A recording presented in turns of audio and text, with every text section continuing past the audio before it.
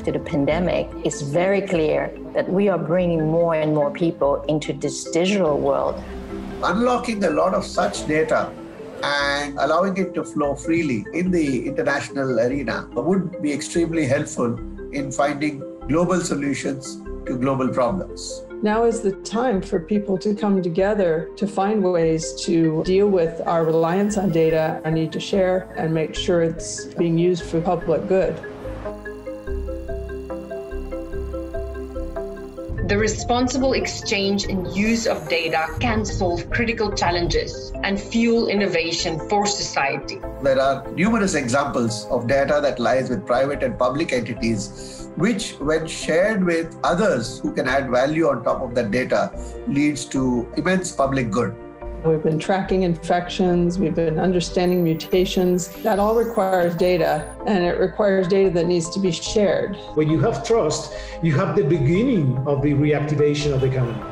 Data fusion is a term within digital which is all about fusing and making the data come together and speak the same language so that you can make it available into applications and algorithms and visualize it and take value out from it. With farmers, much of this is focused around AI and the using of IoT sensors which generate data towards irrigation, soil sampling, and nutrients in the soil and the crop patterns, weather patterns, uh, to share that to make the right decisions on what crop to plant in which part of the country. By creating a data standard, we can also start protecting our citizen from being taken advantage of. Everyone who's collecting data or is being a part of the data driven economy has obligation to safekeep data and look at data privacy as their first priority. There is an apprehension that the accumulation of large quantities of data by individual privately owned platforms can tilt economic balances that extend beyond the control of sovereign governments.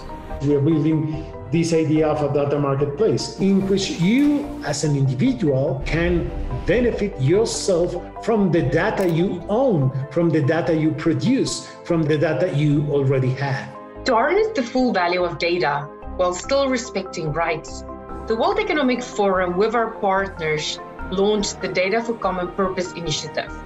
With this multi stakeholder collaboration, public and private sector can sponsor changes to policies to exchange data assets for the common good and articulate parameters for ethical data use.